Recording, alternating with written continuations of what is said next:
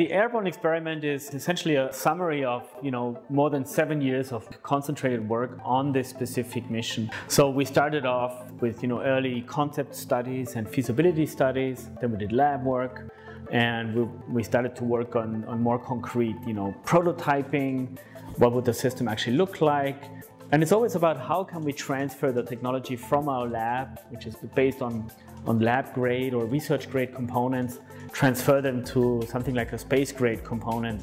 In order to get to this to a satellite implementation uh, down the road, you have to take steps in order to get there.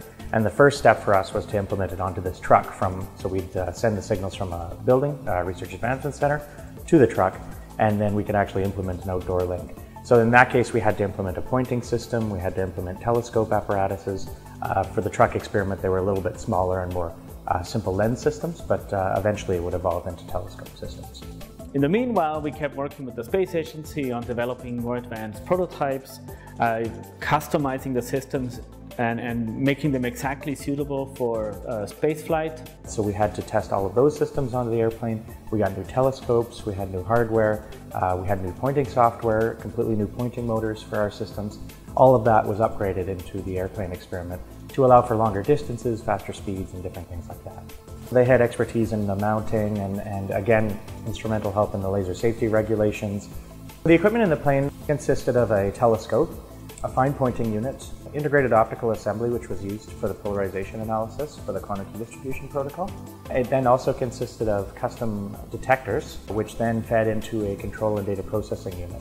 So the ground station consisted of the source, so our weak coherent pulse uh, source which we used for generating the, the single photons. It also consisted of a coarse pointing system uh, it also had a polarization analysis system so and compensation so that between the source and the transmitter, we were able to compensate for any polarization drifts as the photons travel through the fibers of the system. Uh, and then fortunately, once it gets to free space, you don't have to worry about polarization issues. And the ground station also located was a, a trailer, which we were able to locate the source and a lot of the electronics into so that we could stabilize the temperature and the humidity environment so that the equipment would run better. So we took off and immediately uh, following into the next pass that we did, we, we received a signal. They radioed down, we have photons, right? And that was one of the biggest moments. NRC uh, ground up Falls, research 07. Go ahead. Receiving photons? Yes, receiving photons. They're receiving photons. Hey. I do believe that the, the satellite link that we're working on here in IQC could be a really important piece of such a global network and then put uh, Canada or Canadian uh, researchers and also industry at the forefront of this technology. I mean, to become a global leader in this technology.